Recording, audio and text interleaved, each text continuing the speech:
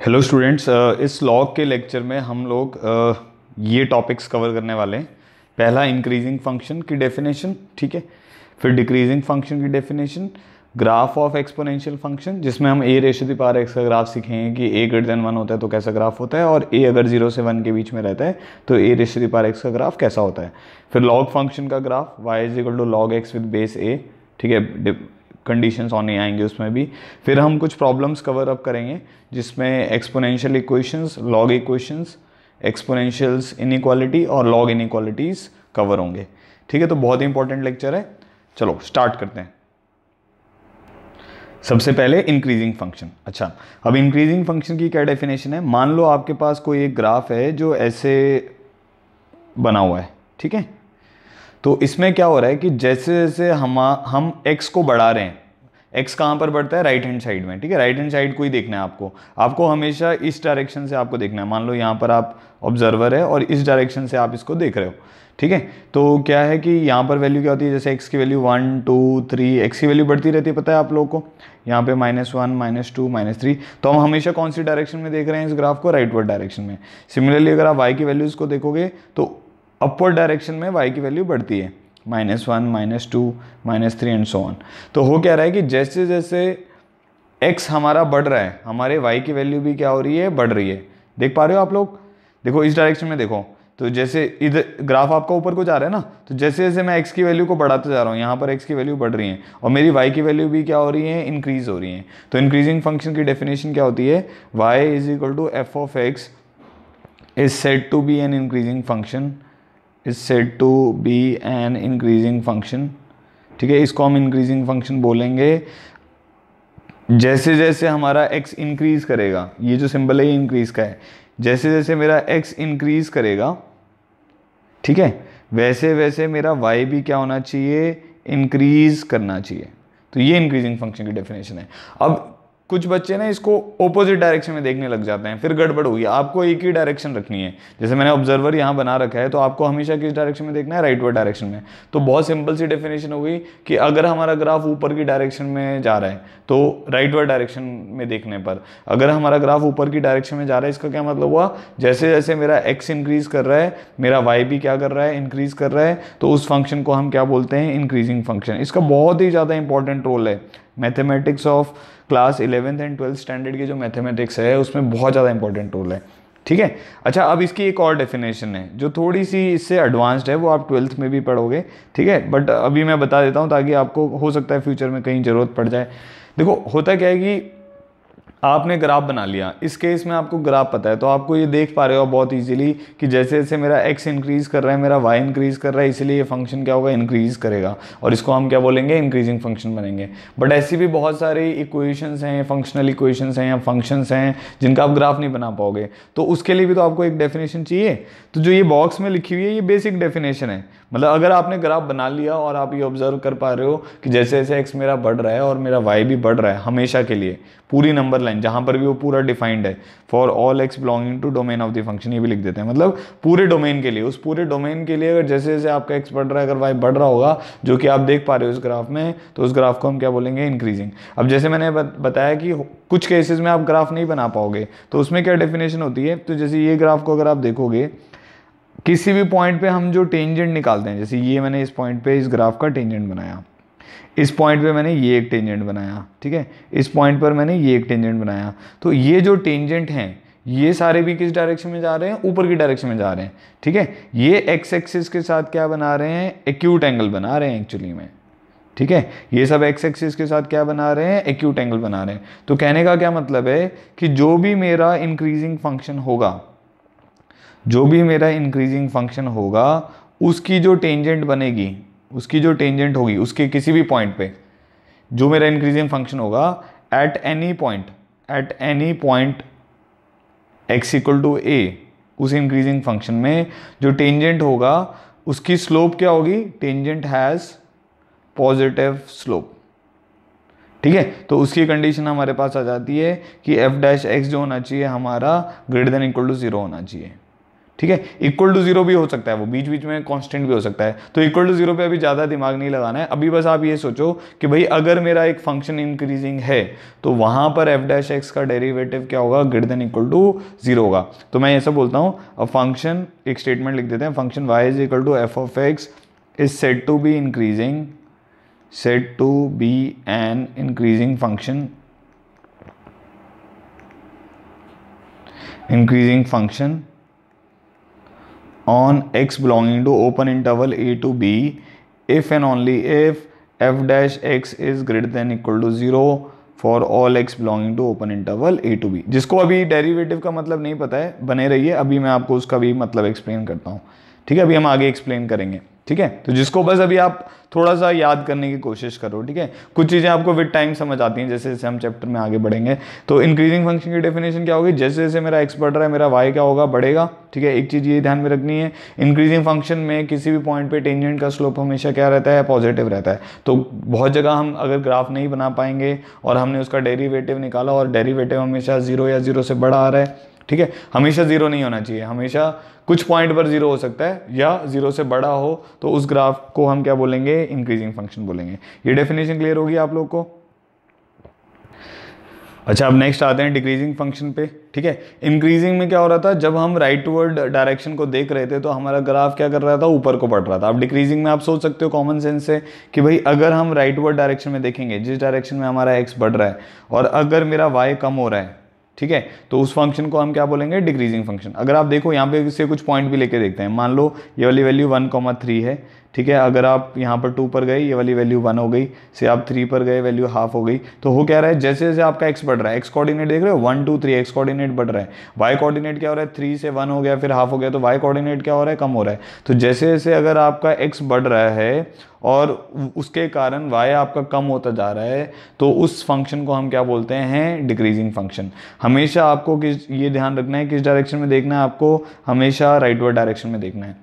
तो अगर ग्राफ पता है तो देख लोगे अब इजीली देख लोगे कि भाई ग्राफ कब इंक्रीजिंग है और ग्राफ कब डिक्रीजिंग है। तो अगर राइटवर्ड डायरेक्शन में ग्राफ ऊपर की डायरेक्शन में जा रहा है तो वो क्या करेगा? इंक्रीज करेगा। अगर राइटवर्ड डायरेक्शन में ग्राफ नीचे की डायरेक्शन में जा रहा है तो वो क्या करेगा? डिक्रीज करेगा। बाय डिफ़ॉल्ट हमेशा राइटवर्ड डायरेक्शन में देखना है। जहाँ पर एक्स की वैल्यूज़ बढ़ रही होंगी।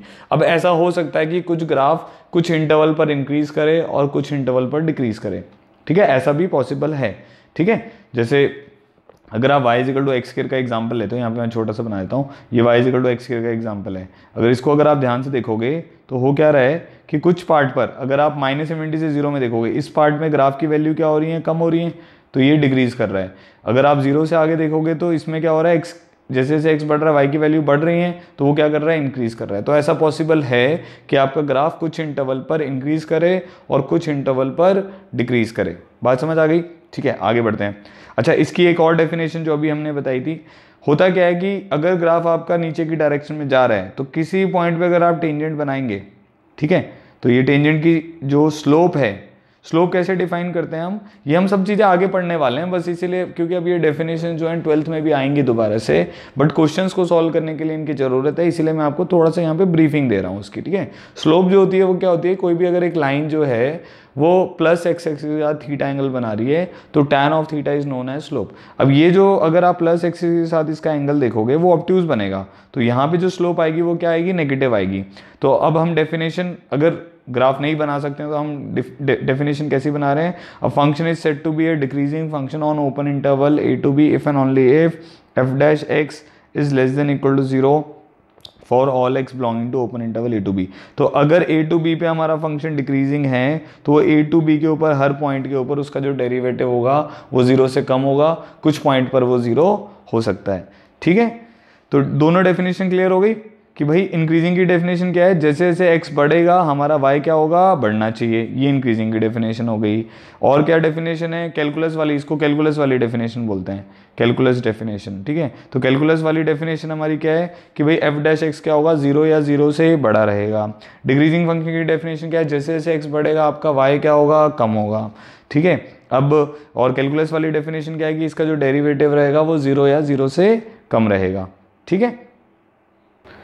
अब हम इंक्रीजिंग और डिक्रीजिंग फ़ंक्शन की एप्लीकेशन के बारे में देखेंगे और ये काफ़ी इंपॉर्टेंट है, ठीक है? अच्छा पहले तो ये बताओ मुझे, जैसे ये ग्राफ हमने बनाया हुआ है वाइजिकल टू एक्स केयर का, सबको बनाना आता होगा। नहीं आता है तो ऑर्डर पेयर से आप बना सकते हो। ज़ीरो पर इसकी वैल्यू ज़ीरो है एक्स को ज़ीरो पुट करोगे वाई की वैल्यू ज़ीरो है।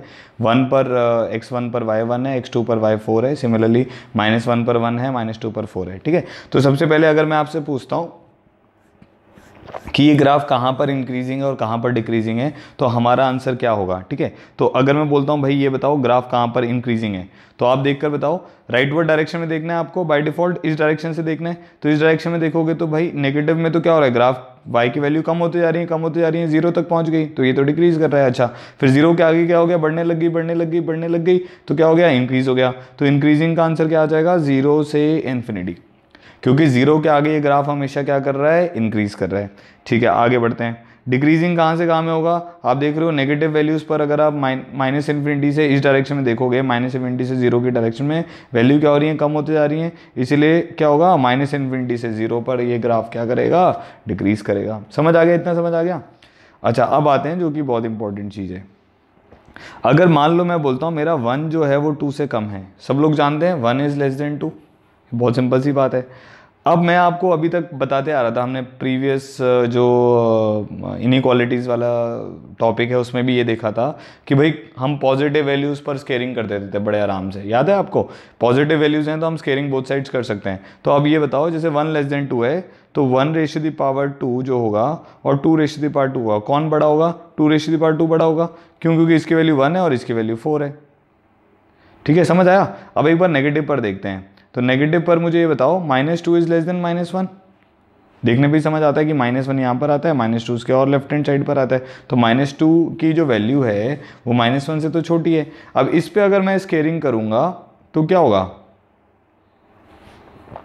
वैल्यू चेंज हो जाएँगी, आपकी फोर जो, अभी आपकी फोर जो है वो वन से बड़ी वैल्यू है ना तो इसमें क्या हो रहा है? इनिक्वालिटी चेंज हो रही है। देख रहे हो? इनिक्वालिटी चेंज होने का मतलब है, यहाँ पर क्या था? जब हमने होल स्केयरिंग किया तो इसके इनक्वालिटी का साइन चेंज हो गया ना। माइनस टू का whole square left hand side पर ही है माइनस वन का whole square right hand side पर ही है बट इनक्वालिटी का साइन क्या हो गया? चेंज हो गया। बट ऐसा यहाँ पर नहीं हुआ।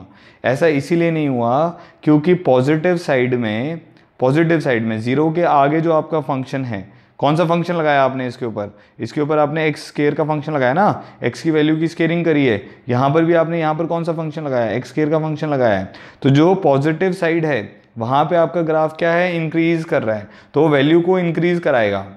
वैल्यू को क्या कराएगा? इंक्रीज जब आप वन से टू पे जाओगे या टू से थ्री पे जाओगे तो आपकी वैल्यू क्या करेंगी? बढ़ेंगी। अगर बढ़ेंगी तो इनक्वालिटी आपकी चेंज नहीं होगी। बट जब आप नेगेटिव साइड में देखोगे, आपकी वैल्यू क्या हो रही है? जैसे जैसे एक्स बढ़ रहा है, आपका वाई कम हो रहा है। तो आपकी वैल्यू क्या होंगी? कम होंगी। वैल्यू कम होंगी तो जब आप स्केयरिंग करोगे तो क्या होगा? वैल्यू कम हो जाएगी। तो इनक्वालिटी के साइन को क्या करना पड़ेगा? चेंज करना पड़ेगा। इसलिए हमारे पास एक बहुत ही इंपॉर्टेंट कंसेप्ट आ जाता है या बहुत ही इंपॉर्टेंट नोट आ जाता है। इंक्रीजिंग फ़ंक्शंस जो होते हैं increasing functions does not change inequalities. Does not change inequalities. ठीक है? इसका मतलब क्या हुआ? कि भाई, अगर किसी भी इनक्वालिटी के ऊपर आप इंक्रीजिंग फ़ंक्शन लगाओगे, वो इनक्वालिटी को चेंज नहीं करेगा। किसी भी इनक्वालिटी के ऊपर अगर आप इंक्रीजिंग फ़ंक्शन लगाओगे, वो इनक्वालिटी को चेंज नहीं करेगा। जबकि जो चाहे लगाओ, चाहे हटाओ हटा भी सकते हो। मतलब लगा भी सकते हैं हम इनक्वालिटी के ऊपर, हम हटा भी सकते हैं। ठीक है, समझ रहे हो? अब हटाने वाला जो प्रोसेस है, वो आगे हम क्वेश्चंस में देखेंगे कैसे हटाते हैं। तो किसी भी इनक्वालिटी के ऊपर अगर आप इंक्रीजिंग फ़ंक्शन को लगाओगे या इंक्रीजिंग फ़ंक्शन को हटाओगे तो इनक्वालिटी आपकी चेंज नहीं होगी। अच्छा अब डिक्रीजिंग फ़ंक्शन पे आते हैं। डिक्रीजिंग फ़ंक्शन जो होते हैं, उसमें आपने देखा ना नेगेटिव जब x की वैल्यूज़ नेगेटिव है यहाँ पर तो क्या हो रहा है? वैल्यू आपका फ़ंक्शन क्या कर रहा है? डिक्रीज कर रहा है तो इसीलिए वो क्या कर रहा है? इनक्वालिटी को चेंज कर रहा है। तो decreasing function changes inequality अच्छा इनक्वालिटी कहने का यहाँ पर मतलब है साइन ऑफ़ इनक्वालिटी मतलब और कुछ मतलब नहीं है। क्या मतलब है कि भाई इंक्रीजिंग फ़ंक्शन जो होंगे, उनको अगर आप लगाओगे तो इनक्वालिटी के साइन को चेंज नहीं करेंगे। जो डिक्रीजिंग फ़ंक्शन होंगे, वो इनक्वालिटी के साइन को चेंज करेंगे। अब ये इतनी इंपॉर्टेंट प्रॉपर्टी है, बहुत ज़्यादा यूज़ होती है। अभी आप आगे लॉग इनक्वालिटीज़ पढ़ोगे एक्सपोनेंशियल इनक्वालिटीज़ पढ़ोगे, उसमें हर जगह, हर स्टेप पर इसका यूज़ होगा। इसीलिए आपको यहाँ पर बताया जा रहा है, ठीक है? और अभी आपको थोड़ा सा ये भी समझ आ रहा होगा, जैसे हम पहले इनक्वालिटी सॉल्व करते समय मैंने आपको बोला था, अभी ये याद कर लो कि if both the sides are positive we can do squaring on both the sides but if one side is negative तो हम नहीं कर सकते। अब एक चीज़ वो भी डिस्कस कर लेते हैं। मान लो मेरे पास लिखा हुआ है माइनस टू से एक्स से वन ये इंटरवल है। अगर मेरे को इसका स्केयरिंग करना है if I want to do squaring ठीक है? तो इसको कैसे करेंगे?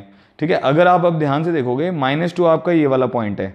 ठीक है, जो नेगेटिव एक्स की डायरेक्शन में और वन आपका ये वाला पॉइंट है, ठीक है? तो इसमें स्केयरिंग करने में हम डायरेक्टली नहीं कर पाएँगे, क्योंकि क्या है कि इस इंटरवल में माइनस टू से ज़ीरो पे आपका ग्राफ क्या है? डिक्रीज कर रहा है। ज़ीरो से वन पे हमारा ग्राफ क्या कर रहा है? इंक्रीज कर रहा है। अब इसकी स्केयरिंग करने के लिए आपको क्या करना पड़ेगा? इसको ब्रेक करना पड़ेगा, इसको ब्रेक करते हैं। तो इसको मैं ऐसे लिख सकता हूँ माइनस टू से एक्स से ज़ीरो यूनियन ज़ीरो से एक्स से वन बताओ, सही लिखा हुआ है कि नहीं सही लिखा हुआ है? ब्रेक कर सकते हैं ना माइनस टू से वन वाली वैल्यूज़ को माइनस टू से ज़ीरो पे यूनियन ज़ीरो से वन पे। अब आपको क्वेश्चन आएगा सर ज़ीरो पे क्यों ब्रेक किया? क्योंकि ज़ीरो पे इस ग्राफ का नेचर चेंज हो रहा है। माइनस टू से ज़ीरो पे ये ग्राफ क्या है? डिक्रीजिंग है। ज़ीरो से वन में ये ग्राफ क्या है? इंक्रीजिंग है। ठीक है, अब मैं क्या कर रहा हूँ? मैं स्केरिंग बोथ साइड करूँगा। अब इस इंटरवल में मेरा ग्राफ क्या था? डिक्रीजिंग याद रखना है, इस इंटरवल में मेरा ग्राफ क्या था? इंक्रीजिंग हमने अभी अभी चेक किया था। तो यहाँ पे होल स्केयर करेंगे। एक्स स्केयर की बात कर रहे हैं, यहाँ पर फ़ंक्शन डिक्रीजिंग है, यहाँ पर फ़ंक्शन इंक्रीजिंग है। होल स्केयर करेंगे तो क्या करेंगे? इनक्वालिटी के साइन को चेंज कर देंगे। और आपको लॉजिकली समझ भी आ रहा होगा ज़ीरो भाई फोर जो है वो ज़ीरो से तो बड़ा ही होगा ना। यूनियन यहाँ पे अगर आप करोगे तो चेंज नहीं करना है तो ज़ीरो से एक्स स्केयर से लेस देन वन ठीक है तो अब हमें क्या करना है, इन दोनों का यूनियन लेना है। यूनियन का क्या मतलब होता है, इन सारी वैल्यूज़ को कलेक्ट कर लो। एक वैल्यू कह रही है ज़ीरो से वन में, एक वैल्यू कह रही है ज़ीरो से फोर में ज़ीरो इंक्लूडेड है। तो इस पार्ट का, इसका डायरेक्ट स्केयरिंग करने पर हमें आंसर मिलेगा। क्लोज ज़ीरो फोर ओपन बात समझ आ गई? ठीक है? तो ये बहुत इंपॉर्टेंट कंसेप्ट है कि भाई किस तरीके से इनक्वालिटीज़ के ऊपर आपको फ़ंक्शन लगाना है। यहाँ पे हमने इसी इनक्वालिटी के ऊपर कौन सा फ़ंक्शन लगाया? एक्स रेश दी पार्ट टू लगाया। तो ये x raised the power two है सॉरी यहाँ पर। एक्स केयर था ना? एक्स नहीं था। तो एक्स केयर की वैल्यूज़ कहाँ से कहाँ आएँगी हमारी? ज़ीरो से लेकर वन यूनियन ज़ीरो से फोर तो ज़ीरो इंक्लूडेड है तो ज़ीरो इंक्लूड हो गया और फोर भी फोर पे इंक्लूड मतलब फोर पे ओपन है तो इसलिए फोर पे ओपन ब्रैकेट आएगी। क्लियर हो गया सबको ये? ठीक है, आगे बढ़ते हैं। अच्छा अब मैंने एक ग्राफ बनाया है y is equal to one by x अब इस पर भी इनक्वालिटी लगाकर थोड़ा सा चेक करते हैं, ठीक है? बहुत ही इंटरेस्टिंग है ये भी। तो y is equal to one by x का ग्राफ कैसा बनता है? और इस टाइप का, इस टाइप का शेप है। जैसे मैंने कुछ पॉइंट्स लिए हुए हैं ज़ीरो पर ये वाली वैल्यू इन्फिनिटी को जाएगी तो इसलिए ये ऐसे ग्राफ मतलब ऊपर तक जाता रहता है। वाई एक्सिस को टच करने की कोशिश करेगा। जैसे जैसे आप आगे बढ़ते रहोगे वाई एक्सिस के इन्फिनिटी पे जाने, जाकर टच करने की कोशिश करेगा। से एक्स को अगर आप इसमें वन बाय थ्री पुट करोगे तो वाई की वैल्यू कितनी आ जाएगी? थ्री ये वाला पॉइंट मिल जाएगा हमें। ठीक है वन पुट करोगे एक्स को वन पुट करोगे तो वाई की वैल्यू वन एक्स को टू पुट करोगे वाई की value half similarly negative side में, ठीक है? अब आप देखना, अब अच्छा पहले ये बताओ, ये ग्राफ डिक्रीजिंग है कि इंक्रीजिंग है? तो अगर मैं आपसे पूछता हूँ कि ये ग्राफ बताओ डिक्रीजिंग कहाँ कहाँ पर है तो अगर आप ध्यान से देखोगे, इस डायरेक्शन को देखना है आपको तो माइनस इन्फिनिटी से ज़ीरो तक देखो तो ग्राफ नीचे को जा रहा है तो इसका मतलब डिक्रीज कर रहा है। ठीक है जी। ज़ीरो से इन्फिनिटी में देखोगे तो ग्राफ क्या होगा? भाई ये भी वैल्यू कम होते जा रही है तो डिक्रीज कर रहा है। ज़ीरो पर क्या है? ये डिफाइंड ही नहीं है। तो इसलिए अगर हम, हमसे पूछा जाएगा कि ये डिक्रीजिंग कहाँ पर है तो हम बोलेंगे x belongs to minus infinity से ज़ीरो यूनियन ज़ीरो से इन्फिनिटी में ये डिक्रीजिंग है। मतलब जो इसका डोमेन है, उस पर ये ग्राफ हमेशा डिक्रीजिंग है। तो आप याद रख सकते हो कि y is equal to one by x मतलब किसी भी इनक्वालिटी का अगर हमें रेसिप्रोकल लेना है, क्योंकि रेसिप्रोकल जो होता है वो डिक्रीजिंग फ़ंक्शन होता है, वो पक्का से इनक्वालिटी को क्या करेगा? चेंज करेगा। वही हम यहाँ पे चेक करेंगे। अच्छा अगर मैं आपसे पूछता हूँ, ये इंक्रीजिंग कहाँ पर है? तो कहीं पर भी ये इंक्रीजिंग नहीं है, इसलिए हम बोलेंगे फाइव पर। मतलब नो सोल्यूशन इंक्रीजिंग के लिए इसका कोई भी इंटरवल नहीं है। तो अब अच्छा चेक करते हैं। कि इनक्वालिटी इस पर कैसे लगेगी। जैसे अगर मैं आपको बोलता हूँ one by three is less than two बहुत ही सिंपल स्टेटमेंट है और करेक्ट स्टेटमेंट है। इसके ऊपर रेसिपोकल लेना है। तो रेसिपोकल लोगे तो क्या होगा? वन बाई थ्री का रेसिपोकल क्या हो जाएगा? One upon one by three और इधर रेसिपोकल क्या आ जाएगा? वन बाई टू इनक्वालिटी देखो, आपको चेंज करनी पड़ेगी। अगर नहीं चेंज करोगे तो स्टेटमेंट गलत हो जाएगी because three is always greater than half तो क्योंकि ये ग्राफ डिक्रीजिंग था, इसीलिए इसने इनक्वालिटी को क्या कर दिया? चेंज कर दिया। ठीक है, अब नेगेटिव में भी चेक करते हैं। नेगेटिव में आप जानते हैं minus two is less than minus one ठीक है माइनस टू एक्स एक्सिस पर पीछे आता है। अब इसका रेसी पकड़ लो। अगर रेसिप्रोकल लोगे तो ये माइनस हाफ़ बनेगा, यहाँ पे माइनस वन बनेगा। तो क्या हो रहा है, कौन बड़ा है? माइनस हाफ़ वाली वैल्यू बड़ी है ना? ठीक है, क्योंकि माइनस पॉइंट फाइव ज़ीरो की पास होता है। ठीक है तो क्या हो रहा है? रेसिप्रोकल लिया आपने इनक्वालिटी चेंज हो गई। ठीक है? तो इससे भी क्लियर हो रहा है कि भाई नेगेटिव पार्ट में भी ये क्या है? डिक्रीजिंग है, इसलिए ये इनक्वालिटी को चेंज कर रहा है। अब एक और अच्छा सा एग्जांपल देखते हैं। इसी में इसी के लिए एक इंटरवल बना रहा हूँ मैं। माइनस टू से एक्स से वन अब ये इंटरवल बड़ा ज़बरदस्त सा है, क्योंकि इसमें क्या हो रहा है? इसके बीच में ज़ीरो आ रहा है। और वहाँ पर हमारा ग्राफ क्या हो रहा है? ब्रेक हो रहा है। ठीक है? तो माइनस टू से एक्स से वन में अगर आपको कोई बोले कि भाई इसका रेसिप्रोकल लेके बताओ आप। अभी भाई आप तो क्या कर रहे हो? पॉजिटिव में रेसिप्रोकल ले ले रहे हो, बड़े आसानी से ले ले रहे हो, क्योंकि आपको पता है डिक्रीजिंग है नेगेटिव पे भी ले ले रहे हो। अब माइनस टू से वन में लेके बताओ, इसमें ज़ीरो आ रहा है बीच में तो क्या करेंगे? ठीक है, अब आपको ये पहले से ही पता होना चाहिए कि भाई क्वेश्चन में तो हो सकता है वो आपको डोमेन वोमेन कुछ बता ही नहीं तो ये आपको अपने कॉमन सेंस लगानी है कि भाई, जहाँ पर फ़ंक्शन नॉट डिफाइंड है, वहाँ तो मैं उसका कुछ भी नहीं कर सकता। उसको तो हम बात ही नहीं कर सकते ना, उस बात, उस पॉइंट के ऊपर हम बात ही नहीं कर सकते एक्स टू ज़ीरो पे हम इसकी बात ही नहीं कर सकते। तो हम क्या करेंगे? इसको लिख देंगे। माइनस टू से एक्स से ज़ीरो, माइनस, ठीक है? यूनियन ज़ीरो प्लस से एक्स से वन। अच्छा अब ये क्या बोला है sir? Zero minus zero plus ये ज़ीरो के दो रूप कैसे आ गए नए वाले? अब वो देख लेते हैं। क्या है कि भाई, ये ज़ीरो है। तो आपको क्या करना पड़ेगा? ज़ीरो के जो पीछे वाला है, उसको कुछ और बोलना पड़ेगा। ज़ीरो के जो आगे वाला है, उसको कुछ और बोलना पड़ेगा। एक्चुअली वो ज़ीरो से बहुत छोटी वैल्यू होगी। और वो वाली वैल्यू क्या होगी? Minus point zero zero zero one. कुछ ऐसी वैल्यू होगी। माइनस में आएगी ना ज़ीरो के पीछे तो इसीलिए उस वैल्यू को हम कैसे डिनोट कर रहे हैं ज़ीरो माइनस से? और ज़ीरो के जस्ट आगे वाली जो वैल्यू होगी, उसको हम कैसे डिनोट कर रहे हैं ज़ीरो प्लस से? तो वो ज़ीरो प्लस एक्चुअली में point zero zero zero zero one कुछ ऐसी वैल्यू होगी। बहुत ही छोटी वैल्यू होगी जो जस्ट ज़ीरो के आगे आ रही होगी। ठीक है? इसका बहुत ज़्यादा यूज़ है। ठीक है? तो समझ आ गया? ज़ीरो के जो पीछे टर्म है, उसको मैं क्या लिख दूँगा? ज़ीरो माइनस ज़ीरो के आगे जो टर्म है, उसको क्या लिख देंगे? ज़ीरो प्लस ठीक है? अब मेरे को क्या करना था? रेसिप्रोकल लेना था। आपको समझ आ गया? ज़ीरो पे क्यों ब्रेक किया? ज़ीरो पे हमने इसीलिए ब्रेक किया है because one by zero is not defined one by zero is not a defined value इसीलिए ज़ीरो पे ब्रेक कर दिया। अब तेरे को रेसिप्रोकल लेना है। अब तू जानता है कि भाई ये जो ग्राफ है, ये क्या है? डिक्रीजिंग है तो इनक्वालिटी को क्या करेगा? चेंज करेगा। तो वन बाय एक्स का रेसिप्रोकल कितना आ जाएगा? One by minus two one by zero minus अब ज़ीरो माइनस जो है नेगेटिव वैल्यू है, ध्यान रखना है। और रेसिप्रोकल की इनक्वालिटी हमने चेंज कर दी। यूनियन इसका रेसिप्रोकल लेते हैं। One by six sorry one by x inequality change करेंगे तो वन बाय ज़ीरो प्लस यहाँ पे कितना जाएगा? वन बाय वन रेसिपो को ले लिया इनक्वालिटी चेंज कर दी। क्यों इनक्वालिटी चेंज करी? Because one by x is a decreasing function बात समझ आ गई? इनक्वालिटी डिक्रीजिंग फ़ंक्शन क्या करता है? इनक्वालिटी को चेंज करता है। और इंक्रीजिंग के बारे में क्या बताया था? इंक्रीजिंग जो होगा, वो इनक्वालिटी को चेंज नहीं करेगा। ठीक है जी? तो वन बाय एक्स क्या आएगा? अच्छा वन बाय ज़ीरो माइनस की बात करते हैं। तो वन बाय ज़ीरो माइनस जो है, वो किसके बराबर होगा? वन बाई ज़ीरो माइनस किसके बराबर होगा? One divided by minus point zero zero one तो ये वाली वैल्यू हमारी माइनस इन्फिनिटी को अप्रोच करेगी। और ये वाली वैल्यू हमारी किसके बराबर आएगी? Minus half. तो ये इंटरवल आ गया हमारे पास माइनस इन्फिनिटी से minus half.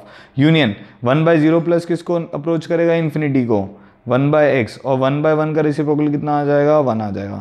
समझ आ गया? तो ओवरऑल अब हमें ये समझ आ गया है कि जो हमारा वन बाय एक्स की जो रेंज आ रही है, वो कहाँ से कहाँ आ रही है? रेंज कहने मतलब इसकी जो वैल्यूज़ आ रही हैं कहाँ से कहाँ आ रही हैं? इसकी रेंज आ रही है माइनस इन्फिनिटी से माइनस हाफ़ यूनियन वन से इन्फिनिटी तो समझ आ गया कैसे रेसिप्रोकल लेना है?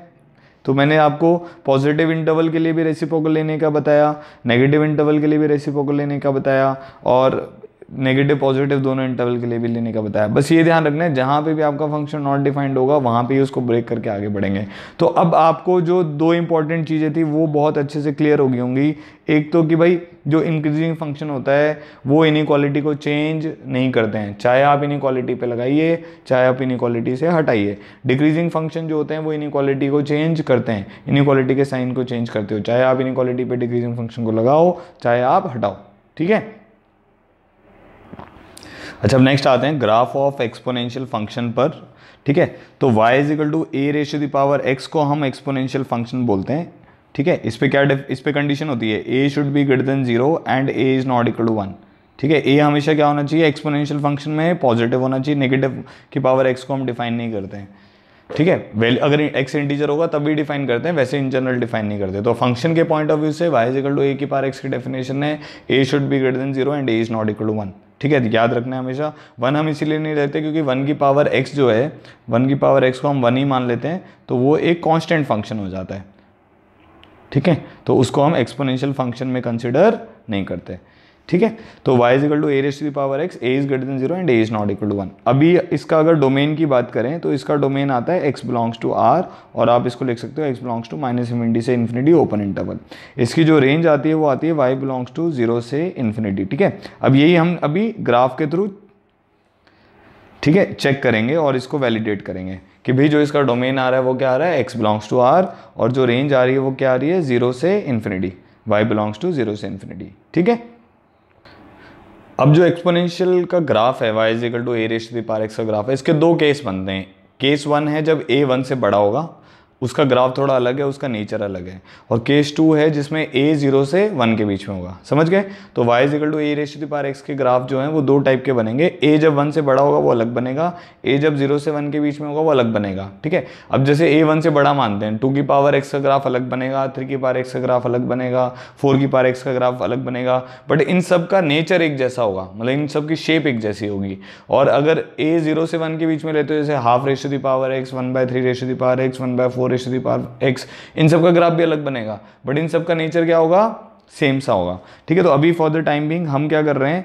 A greater than one one है तो हम टू की पावर एक्स का ग्राफ बनाते हैं। ठीक है ऑर्डर पेयर से बनाएँगे। तो आप ऑलरेडी जानते हैं, जैसे एक्स वन पर इसकी वैल्यू एक्स ज़ीरो पर कितनी वैल्यू होगी? टू की पावर ज़ीरो कितना होता है? वन तो ये वाला पॉइंट आ गया। वन पर इसकी वैल्यू कितनी आएगी? एक्स वन पुट करेंगे तो वाई की वैल्यू टू ये वाला पॉइंट आ गया। टू पुट करोगे तो एक्स की एक्स की वैल्यू टू पर वाई की वैल्यू कितनी आएगी? फोर आएगी, ये वाला पॉइंट आ गया। थ्री पर ये एट आएगा, ये ऐसे ऊपर को जाता जा रहा है। ठीक है? और हम ऐसा भी सोच सकते हैं कि टू की पार हंड्रेड बहुत बड़ी वैल्यू होगी। टू की पार इन्फिनिटी जब मैं लेकर जाऊँगा तो ये बहुत ही ज़्यादा बड़ी वैल्यू हो जाएगी और इन्फिनिटी पर ये ग्राफ इन्फिनिटी को जाएगा।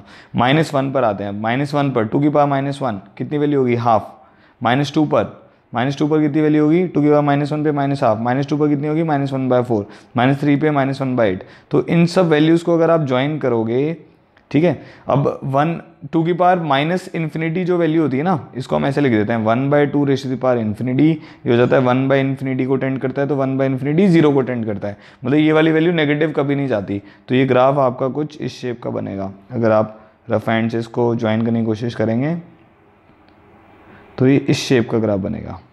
ठीक है? समझ आ गया? तो किसका ग्राफ हो गया ये? Y is equal to two raised the power x का ग्राफ हो गया। समझ आ रहा है? अच्छा अब इस ग्राफ को देख के डोमेन बताने की कोशिश करो। आपने पहले भी एक बार सोचा हुआ है इस टाइप के क्वेश्चंस में हम डोमेन कैसे देखते थे। डोमेन के लिए हम क्या करते हैं? हम ये देखते हैं कि भाई ग्राफ का एक्स एक्सिस के लॉन्ग स्पैन कितना है। एक्स की किस किस वैल्यू के लिए डिफाइंड है? तो ये जो एरो है, ये माइनस इन्फिनिटी तक जा रहा है। ये एरो जो इसको इन्फिनिटी तक लेकर जाएगा। तो इसलिए इसका डोमेन क्या आ जाएगा? एक्स बिलोंग्स टू आर आ जाएगा। रेंज देखो, ये ग्राफ कभी भी ज़ीरो नहीं होगा, क्योंकि जब एक्स आपका माइनस इन्फिनिटी होगा, तब इसकी वाई की वैल्यू ज़ीरो को जाएगी। अब एक्स माइनस इन्फिनिटी हो ही नहीं सकता। सिमिलरली एक्स इन्फिनिटी भी नहीं हो सकता। उसको तो हम बोलते हैं कि भाई मैथ्स में जो सबसे बड़ा नंबर है, वो एक इन्फिनिटी है। ठीक है? तो x माइनस इन्फिनिटी भी नहीं हो सकता और x इन्फिनिटी भी नहीं हो सकता। इसलिए जो इसकी रेंज आ रही है, वो क्या आ रही है? y belongs to open zero से इन्फिनिटी आ रही है। तो डोमेन क्लियर हो गया। x belongs to r is the domain और रेंज जो है, वो क्या हो गई? ओपन ज़ीरो से इन्फिनिटी हो गई। ठीक है? रेंज y की वैल्यू जो है, वो ज़ीरो से इन्फिनिटी तक जा रही है इसलिए। अच्छा अब जो सबसे इंपॉर्टेंट चीज़ है, a की पावर x अगर a वन से बड़ा है, जैसे हमने टू की पावर x का ग्राफ बनाया, आप अगर इस ग्राफ को ऑब्ज़र्व करोगे इस डायरेक्शन में आपकी एक्स की वैल्यू बढ़ रही है और जिस जिस डायरेक्शन में आप बढ़ते जा रहे हो तो वाई की वैल्यू बढ़ती जा रही है। वाई की वैल्यू बढ़ रही है कि नहीं बढ़ रही है? वाई की वैल्यू बढ़ रही है। इसलिए ये जो फ़ंक्शन होगा, ये फ़ंक्शन क्या होगा? इंक्रीजिंग फ़ंक्शन होगा। बात समझ आ गई?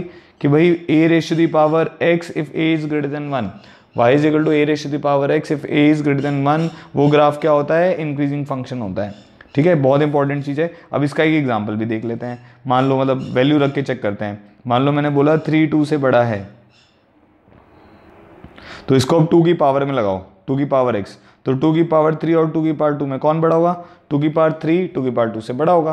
क्यों ऐसा हो रहा है? इनिक्वालिटी चेंज नहीं हुई ना? Eight is greater than four inequality change नहीं हुई। क्यों चेंज नहीं हुई? क्योंकि टू की पावर एक्स का ग्राफ क्या होता है? इंक्रीजिंग और इंक्रीजिंग इनिक्वालिटी को चेंज नहीं करता है। तो आप इस दर से इस डायरेक्शन में जाओ या इधर से इस डायरेक्शन में जाओ। थ्री ग्रेटर देन टू से उसके उसको टू की पावर में लगाओ इनक्वालिटी को टू की पावर में लगाओ। मतलब फ़ंक्शन में एक्स की जगह पे लगाया ना हमने तो टू की पावर एक्स में लगाया जब हमने वैल्यूज़ को तो हमने क्या किया? इस इनक्वालिटी के ऊपर टू की पावर एक्स वाला फ़ंक्शन लगाया। तो इनक्वालिटी चेंज नहीं हुई। ऐसे अगर मैं टू की पावर एक्स को हटाऊँगा तो अगर मैं हटाऊँगा तो क्या होगा? टू मैंने हटाया, तब भी इनक्वालिटी हमने चेंज नहीं करी। बात समझ आ गई? ठीक है तो अगर इनक्वालिटी के ऊपर आप इंक्रीजिंग फ़ंक्शन लगाओगे या हटाओगे इनक्वालिटी चेंज नहीं होगी। अब नेक्स्ट केस पे आते हैं। Y is equal to a raise the power x where a is between zero and one ठीक है? तो इसके लिए फॉर एग्जांपल हम ले लेते हैं। Y is equal to half raise the power x कुछ भी ले सकते हो half raise the power x ले लो one by three raise the power x ले लो, इन सब का नेचर एक जैसा ही बनेगा, ठीक है? तो एक्स इक्वल टू ज़ीरो पर वैल्यू वन आएगी half raise the power zero one पर वैल्यू कितनी आएगी? हाफ़ आएगी। माइन टू पर वैल्यू कितनी आएगी? वन बाय फोर आएगी थ्री पर वन बाय एट आएगी, कम होती जाएगी। माइनस वन पर कितना आएगा? One by to raise the power minus one क्या हो जाएगा ये टू टू हो जाएगा ना? क्योंकि टू रेसिप्रोकल में चला जाएगा। ठीक है तो हाफ़ का रेसिप्रोकल टू बन जाएगा। ऐसे ही अगर मैं वन बाई टू की पावर माइनस टू लूँगा तो ये टू की पावर टू हो जाएगा और ये फोर बन जाएगा। तो हाफ़ की पावर माइनस वन ये टू हो जाएगा। ठीक है माइनस टू पर ये फोर हो जाएगा। माइनस थ्री पर ये एट हो जाएगा। ठीक है तो समझ पा रहे हो? तो कैसा ग्राफ बनेगा आपका? ये ग्राफ कुछ, अगर आप रफ एंड से ज्वाइन करोगे तो कुछ इस नेचर का बनेगा। ठीक है? तो half raise the power x का जो ग्राफ है अगर आप अब ध्यान से देखो इस एर, एरो बना दिया मतलब ऐसे आगे तक चलता रहेगा ये वाला ग्राफ ठीक है? तो ये जो ग्राफ है ऐसे इसको टच नहीं करेगा ये ना ऐसे इन्फिनिटी पर जाकर टच करने की कोशिश करेगा। ठीक है? तो क्या बनेगा इसका? डोमेन क्या बनेगा? एक्स बिलोंग्स टू आर क्योंकि पूरी नंबर लाइन पर डिफाइंड है ऐसी कोई वैल्यू नहीं है जहाँ पर ये नॉट डिफाइंड होगा। ठीक है? रेंज क्या बनेगी? हमेशा पॉजिटिव है तो रेंज बन जाएगी ज़ीरो से इन्फिनिटी कैसा नेचर है इसका? जैसे जैसे हमारा एक्स बढ़ रहा है हमारा वाई क्या हो रहा है? कम हो रहा है, इसलिए इसको हम क्या बोलेंगे? डिक्रीजिंग फ़ंक्शन और ये अब इनक्वालिटी को आपके चेंज करेगा। ठीक है? तो अब ऐसा याद रखना है कि भाई ए रेश दी पावर एक्स का अगर ग्राफ है, उसमें अगर ए वन से बड़ा है तो वो कैसा ग्राफ होगा? इंक्रीजिंग होगा। अगर ए ज़ीरो से वन के बीच में होगा तो वो क्या होगा? डिक्रीजिंग होगा। एक बार बस नंबर्स पर भी लगाकर चेक कर लेते हैं। One is less than three अब इसको हाफ़ लगाओ।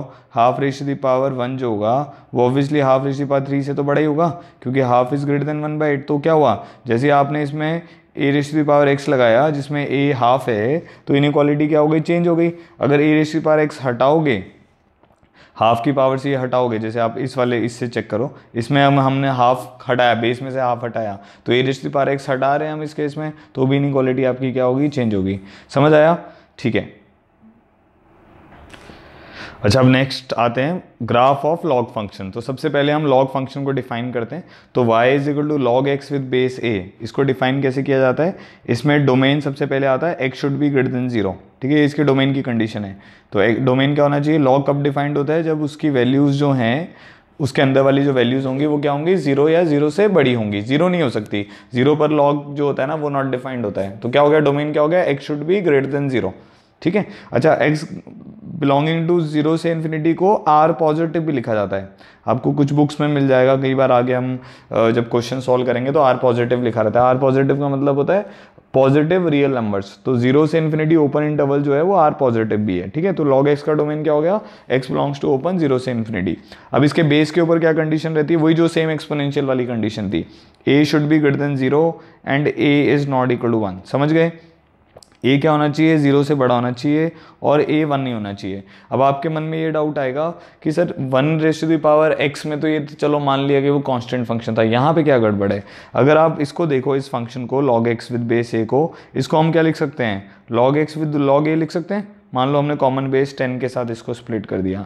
तो अब अगर यहाँ पर आप ए को वन पुट करोगे तो क्या गड़बड़ हो जाएगी? वाई आपका बन जाएगा log x divided by log one और लॉग वन की वैल्यू कितनी होती ज़ीरो होती थी। तो ये वाली वैल्यू बन जाएगी लॉग एक्स बाय ज़ीरो जो कि नॉट डिफाइंड हो जाएगा। इसीलिए ए जो होता है वो वन नहीं हो सकता। बात क्लियर हो गई? तो log x की डेफिनेशन क्या हो गई? याद रखनी है आपको, log x is defined for x greater than zero तो इसका डोमेन हो जाता है, x belongs to open zero से इन्फिनिटी बेस के ऊपर भी कंडीशन है। बेस के ऊपर क्या कंडीशन है? A should be greater than zero and a is not equal to one इसकी जो रेंज आती है, हम ग्राफ में भी देखेंगे, इसकी रेंज आती है y बिलोंग्स टू r.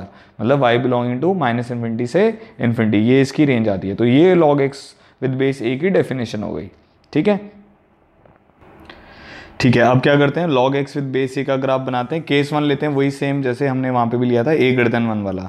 ठीक है तो मैंने सिंप्लिसिटी के लिए बेस को क्या मान लिया टू मान लिया तो अब आप जानते हैं कि अगर एक्स की वैल्यू को मैं टू रखूँगा, पहले वन रखते हैं। एक्स की वैल्यू को वन रखेंगे तो log one with base two क्या होगा? ज़ीरो होगा।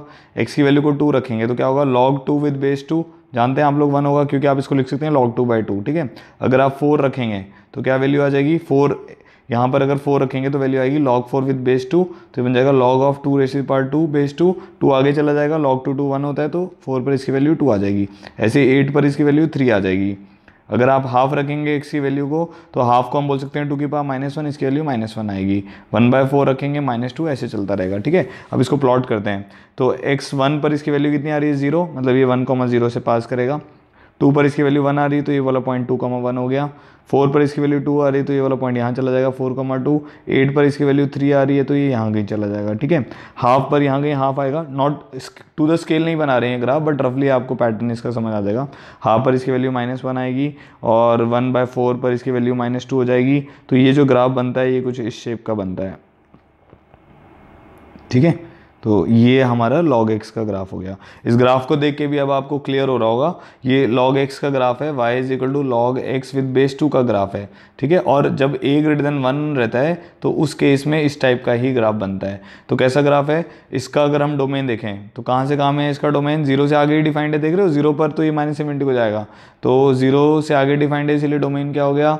ओपन ज़ीरो से इन्फिनिटी क्योंकि ये एरो नेगेटिव में माइनस इन्फिनिटी तक जाएगा, ये एरो जो इधर वाला एरो ये प्लस इन्फिनिटी तक जाएगा, इसलिए इसकी रेंज हो गई वाई बिलोंग्स टू आर कैसा नेचर है इसका? इंक्रीजिंग नेचर है। तो ये जो ग्राफ हो गया, ये अगेन हमारे पास इंक्रीजिंग नेचर का है। तो इंक्रीजिंग नेचर का है तो इसका मतलब क्या हो गया? ये इनक्वालिटी को चेंज नहीं करेगा। तो log x जिसमें बेस वन से बड़ा रहता है, वो इंक्रीजिंग फ़ंक्शन होता है और वो इनक्वालिटी को चेंज नहीं करता। चाहे आप उसको इनक्वालिटी पे लगाओ, चाहे आप इनक्वालिटी से हटाओ। बट ये ध्यान रखना है, log is defined only for x greater than zero log का कोई भी टर्म हो, उसका बेस ज़ीरो से बड़ा हो या वन के बराबर ना हो, उसके बेस के ऊपर भी कंडीशन है ना। A greater than zero and a is not equal one यहाँ पर हमने कौन सा कंडीशन लिया हुआ है? ए ग्रेटर देन वन ठीक है? तो लॉग अगर डिफाइंड करना है तो वो ज़ीरो से इन्फिनिटी पर डिफाइंड होगा। बेस के ऊपर कंडीशन है ए वन से बड़ा होगा। ए ज़ीरो से बड़ा होगा और ए वन नहीं होगा। और ए वन से जब बड़ा होगा तो ग्राफ कैसा होगा? हमारा इंक्रीजिंग होगा। ठीक है, आगे बढ़ते हैं। अच्छा अब केस टू लेते हैं। Y is equal to log x with base a जिसमें ए अब कहाँ से कहाँ के बीच में है? ज़ीरो से वन के बीच में है। तो सिंप्लिसिटी के लिए को हाफ़ ले लिया। वैसे आप वन बाय थ्री ले लें वन बाय फोर ले लें, उसके अकॉर्डिंगली वैल्यू लेके ग्राफ का नेचर सेम ही बनेगा, ठीक है?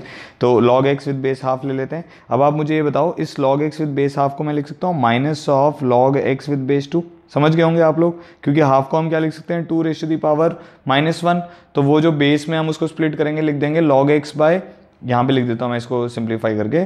log x with base half को मैंने लिख लिया। log x divided by log of two raise power minus one ये माइनस को आगे भेज दिया। तो minus of log x by log two बन जाएगा ये। ठीक है तो ये बन जाएगा। Negative of log x with base two इससे कैलकुलेशन करने थोड़ी सी हमारे लिए आसान हो जाएँगी। सेम वही करते हैं। अब x की वैल्यू को हम वन रखेंगे तो वो ज़ीरो आएगा with negative sign minus of zero is zero only अगर आप टू रखेंगे तो वैल्यू माइनस वन आ जाएगी। फोर रखेंगे तो वैल्यू माइनस टू आ जाएगी। थ्री रखेंगे तो वैल्यू सॉरी थ्री नहीं एट रखेंगे तो एक्स को अगर एट रखेंगे तो वैल्यू कितनी आ जाएगी? माइनस थ्री आ जाएगी। हाफ़ रखेंगे तो वैल्यू फिर वन आ जाएगी, क्योंकि हाफ़ पर टू की पावर माइनस वन होगा। वन बाय फोर रखेंगे तो वैल्यू कितनी आ जाएगी? टू आ जाएगी। समझ आ गया यहाँ तक जो बताया?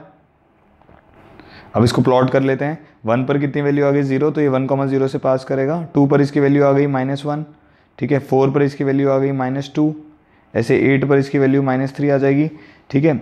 और फिर हाफ़ पर इसकी वैल्यू कितनी आ रही है? वन आ रही है तो यहाँ कहीं पॉइंट चला जाएगा हाफ़ यहाँ कहीं होगा। वन बाय फोर पर इसकी वैल्यू टू आ रही है, ऐसे ही ये बढ़ता रहेगा। तो इसको अगर आप रफ एंड से स्केच करेंगे तो ये इस ग्राफ की शेप कुछ ऐसी जाएगी। ठीक है? तो ये इस टाइप का ग्राफ बन जाएगा। फिर वही अब सब चीज़ें देख लेते हैं। इसकी डोमेन क्या होगा? ज़ीरो से आगे डिफाइंड है तो इस ग्राफ का डोमेन हो जाएगा x belongs to open zero से इन्फिनिटी ठीक है? और रेंज क्या हो जाएगी? वाई बिलोंग्स टू आर क्योंकि माइनस सेवेंटी से इन्फिनिटी तक जा रहा है। कैसा ग्राफ है? ये ग्राफ क्या है? डिक्रीजिंग फ़ंक्शन है। ठीक है? डिक्रीजिंग हो गया। जैसे जैसे आपका एक्स बढ़ रहा है इस डायरेक्शन में वाई की वैल्यू क्या हो रही है? कम हो रही है। तो इस इस फ़ंक्शन को अगर आप इनक्वालिटी पे लगाओगे या हटाओगे इनक्वालिटी का साइन चेंज होगा। ठीक है? अब जो हमने ग्राफ्स पढ़े हैं एक्सपोनेंशियल एंड लॉग के जो ग्राफ पढ़े हैं, एक तो उनका डोमेन उनकी रेंज ये आपको हमेशा ध्यान में रखना है। ये बहुत इंपॉर्टेंट चीज़ें हैं, ठीक है? और जो चार सबसे इंपॉर्टेंट पॉइंट हैं, वो क्या है कि ए रेश दी पावर एक्स अगर हम देखें तो उसमें केस बने थे ए ग्रेटर देन वन और ज़ीरो से ए से वन में। तो जब ए ग्रेटर देन वन था तो हमारा ग्राफ क्या था? इंक्रीजिंग फ़ंक्शन था, ठीक है? ये ये भी याद रखना है, क्योंकि अभी जो हम प्रॉब्लम्स करेंगे, उसमें बहुत ज़्यादा यूज़ होगा। तो इंक्रीजिंग फ़ंक्शन था। जब ए ज़ीरो से वन था तो क्या था? डिक्रीजिंग फ़ंक्शन था। तो दोनों में एक जैसा है। ठीक है? दोनों में एक जैसा कहने का मतलब है एक्सपोनेंशियल और लॉग में एक जैसा ही है बेस के ऊपर कंडीशन सेम है। अब इसमें भी जब ए ग्रेटर देन वन होगा तो क्या होगा? वो इंक्रीजिंग फ़ंक्शन ही होगा। इंक्रीजिंग का आप देख सकते हैं, अभी हमने इससे पहले हमने अभी अभी इनके ग्राफ्स बनाए हैं। अगर अगर ए ज़ीरो से वन के बीच में रहेगा तो दोनों केसेस में एक्सपोनेंशियल के केस में और लॉग के केस में। अगर बेस ज़ीरो से वन के बीच में है तो वो दोनों डिक्रीजिंग फ़ंक्शन रहेंगे, वो इनक्वालिटीज़ को चेंज करेंगे। अगर बेस वन से बड़ा है, दोनों केसेस में एक्सपोनेंशियल में और लॉग में, ठीक है तो वो इंक्रीजिंग फ़ंक्शन रहेंगे, वो इनक्वालिटी को चेंज नहीं करेंगे। चलिए, अब हम क्या करते हैं, ये लॉग का जो चैप्टर है, वो यहाँ पर उसकी थ्योरी खत्म हो जाती है। अब कुछ इससे रिलेटेड कुछ प्रॉब्लम देखते हैं। एग्ज़ाम्पल वन में क्या लिखा हुआ है? X raise to the power one plus log x is equal to ten x ठीक है? इसमें लॉग एक्स जो है वो log x with base ten दिया हुआ है। अगर कुछ भी मेंशन नहीं किया हुआ है और लॉग एक्स लिखा हुआ है तो वो बेस टेन के साथ रहता है। और अगर एल एन लिखेगा तो वो लॉग विद बेस ई के साथ रहता है, ठीक है? अच्छा अब इसमें ये क्या है? लॉग इक्वेशन का प्रॉब्लम हो गया, क्योंकि एक इक्वेशन है जिसमें लॉग आ रहा है, इसलिए किसका प्रॉब्लम हो गया? लॉग इक्वेशन का, ठीक है? अब इसको सॉल्व करने के लिए क्या करना पड़ेगा हमें? सबसे पहले तो डोमेन की कंडीशन लगानी है। ऐसे प्रॉब्लम्स को सॉल्व करने के लिए आपको हमेशा डोमेन की कंडीशन लगानी है। अगर आप डोमेन नहीं निकाल पा रहे हो बाई चांस डोमेन निकालना मुश्किल हो रहा है तो जो आपका आंसर आएगा, उसको फिर इस पेरेंट इक्वेशन में सेटिस्फाई करके देखना पड़ेगा। समझ गए? अगर आपने डोमेन नहीं निकाला है तो जो आपका आंसर आएगा, उसको पेरेंट इक्वेशन में ज़रूर सेटिस्फाई करके चेक करना है, क्योंकि आपने डोमेन नहीं निकाला है, ठीक है? अब क्या है कि पावर में भी वेरिएबल है, जैसे यहाँ पे एक्स की पावर में वेरिएबल है तो हम क्या करेंगे? दोनों तरफ़ लॉग ले लेंगे। अच्छा पहले डोमेन लिख दूँ मैं। तो डोमेन क्या होगा? क्योंकि एक्स बेस में भी है और लॉग के अंदर भी है तो एक्स शुड भी ग्रेटर देन ज़ीरो तो पहली कंडीशन आ गई हमारे पास डोमेन की एक्स ग्रेटर देन ज़ीरो अब जो भी आपका आंसर आएगा, उसका इंटरसेक्शन इस कंडीशन के साथ जाएगा। ठीक है? तो अब दोनों तरफ़ हम क्या करते हैं? लॉग ले लेते हैं। तो लॉग लेंगे तो क्या बनेगा? लॉग विद बेस टेन ले रहा हूँ मैं। ध्यान रखना है x one plus log x इसका लॉग ले लिया। इधर भी लॉग लेंगे तो क्या आ जाएगा? लॉग ऑफ़ टेन एक्स ठीक है? Log of a raise power b क्या होता है अब जो नॉर्मल आपने पढ़ा हुआ है प्रॉपर्टीज़ पढ़ी हुई है, वो लगानी है। Log of a raise power b क्या होता है? बी लॉग ए तो ये पावर आगे आ जाएगी। वन प्लस लॉग एक्स यहाँ पर बच जाएगा log x log of m into n कितना होता है? Log m plus log n ठीक है? तो ये टर्म क्या बन गई? लॉग एक्स होल स्केयर ठीक है प्लस लॉग एक्स अच्छा लॉग एक्स के होल स्केयर को ऐसा भी लिखा जाता है, ऐसे भी लिखते हैं इसको लॉग स्केयर एक्स ठीक है? इसका मतलब ये सेम ही है मतलब इसका मतलब ये नहीं है कि ये टू काम बीच में आ गया। तो लॉग टू एक्स अगर लॉग बीच में टू एक्स लिखा हुआ है मतलब थोड़ा सा ऊपर करके इसका मतलब रहता है log x raise power two only तो log x whole square plus log x is equal to log ten हमें पता है वन होता है, ठीक है? क्योंकि लॉग विद बेस टेन है तो log ten with base ten जो होता है, वो वन होता है, पता है हम ऑलरेडी ठीक है? तो ये वाले लॉग एक्स ये वाला लॉग एक्स कैंसिल हो गया। तो इससे क्या पता चल गया? Log x raise the power two is equal to one आ गया। लॉग एक्स की दो वैल्यू आ जाएँगी, एक वन आ जाएगा और लॉग एक्स की एक वैल्यू आ जाएगी माइनस वन ठीक है? क्योंकि बेस टेन है तो एक्स की वैल्यू क्या आ जाएगी? Ten raise the power one और एक्स की वैल्यू क्या आ जाएगी? Ten raise power minus one which is one by ten तो हमारे पास दोनों वैल्यू आ गई वन बाई टेन और टेन ठीक है? अब आपको क्या करना है? ए और बी का इंटरसेक्शन लेना है। तो ए कह रहा है एक्स पॉजिटिव होना चाहिए वन बाई टेन भी पॉजिटिव और टेन भी पॉजिटिव है। इसलिए इस लॉग इक्वेशन का आंसर हो जाएगा one by ten comma ten तो ये हमारा इस एग्ज़ाम्पल का लॉग इक्वेशन का आंसर है। ठीक है? आगे बढ़ते हैं। नेक्स्ट एग्ज़ाम्पल देखते हैं। Under root log x with base two minus half is equal to log base two under root x okay ठीक है? इसको सॉल्व करना है। तो पहले तो डोमेन की कंडीशन इस पे क्या डोमेन की कंडीशन आएगी कि x should be greater than zero क्योंकि अंडर रूट एक्स है तो उसमें वैसे तो आती है x greater than equal to zero but क्योंकि वो लॉग के अंदर है तो अगर ज़ीरो हो गया तो वो नॉट डिफाइंड हो जाएगा। इसीलिए कंडीशन क्या आएगी? X is greater than zero इस अंडर रूट के अंदर क्या कंडीशन आएगी? कि log two x should be greater than equal to zero क्योंकि अंडर रूट के अंदर वाली टर्म क्या होती है? Greater than equal to zero अच्छा आप देखो, इसमें क्या ध्यान रखना है? अब लॉग का बेस क्या है? टू है। अब आप एक्स की वैल्यूज़ निकालना चाहते हो। यहाँ पे log x with base two दिया हुआ है। तो लॉग को हटाना पड़ेगा। तो लॉग को जब भी हटाते हैं तो कैसे हटाते हैं? मान लो log two x is equal to आपके पास यहाँ पर ए है। तो आप क्या लिखोगे?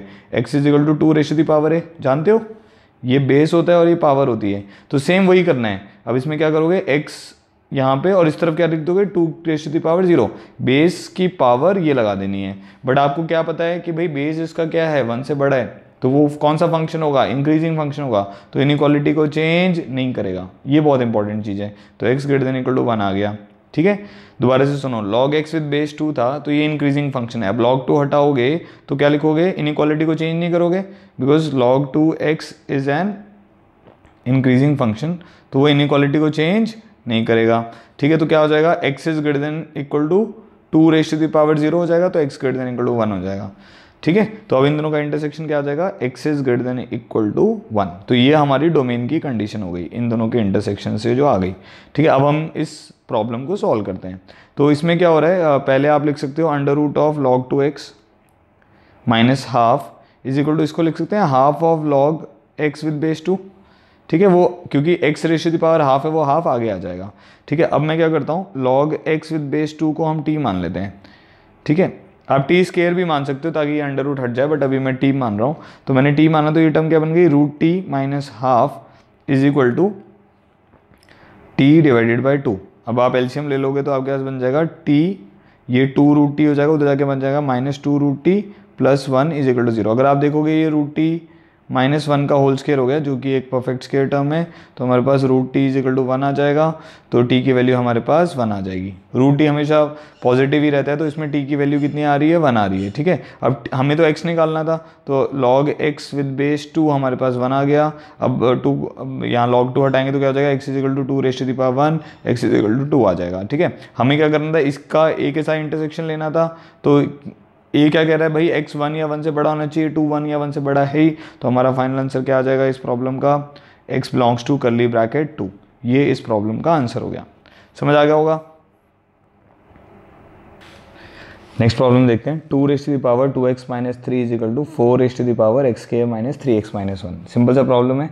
इसको आप ऐसे लिख सकते हो two raise the power two x minus three two raise the power four को क्या लिख सकते हो? Two raise the power two तो वो इससे मल्टीप्लाई हो जाएगा। Two x square minus six x minus two हो जाएगा। ठीक है? अब क्या करोगे? क्योंकि टू क्या है? टू की पावर में इधर टू एक्स माइनस थ्री है इधर टू की पावर में ये है तो, तो दोनों को इक्वेट करना पड़ेगा तभी वैल्यू बराबर हो पाएगी और तो कोई पॉसिबल केस है नहीं। तो हम लिखेंगे टू एक्स के है minus six x minus two this should be equal to two x minus three. तो हमारे पास कंडीशन क्या बन जाएगी? टू एक्स के है minus eight x plus one is equal to zero. एक अच्छी बात यह है कि टू की पावर एक्स में उसका डोमेन क्या होता है? X belongs to R. तो यहाँ पे हमें कोई डोमेन की एसएच कंडीशन लगाने की ज़रूरत नहीं है। इसको हम बोलते हैं एक्सपोनेंशियल इक्वेशन ठीक है? तो अब एक्स की वैल्यू डायरेक्टली आ जाएँगे हमारे पास। Minus b plus minus b square minus four a c divided by two a, ठीक है? तो क्या वैल्यू आ जाएगी? X is equal to two plus minus ये वाली वैल्यू हमारे पास हो जाएगी fifty six so fifty six divided by four इसको फर्दर हम लिख सकते हैं x is equal to two plus minus अगर फोर को अंडर रूट के इनसाइड लेकर जाएँगे तो ये बन जाएगा fifty six divided by sixteen तो ये बन जाएगा x is equal to two plus minus root of seven by two तो ये हमारे आंसर हो जाएँगे। तो हमारा आंसर हो जाएगा x belongs to two minus root of seven by two एक आंसर ये आ जाएगा। Two plus root of seven by two एक आंसर ये आ जाएगा। तो इसको हम करली ब्रैकेट से लिख सकते हैं। ठीक है? अब ये जो एग्जांपल है, ये एक्सपोनेंशियल इनक्वालिटी के ऊपर बेस्ड है, ठीक है? तो हम ऐसे लिख सकते हैं point three raise the power two x square minus three x plus six जो हमारी राइट हैंड साइड वाली टर्म है टू फोर्टी थ्री है। तो point zero zero two four three है तो two forty three divided by ten raise the power five है actually में, ठीक है?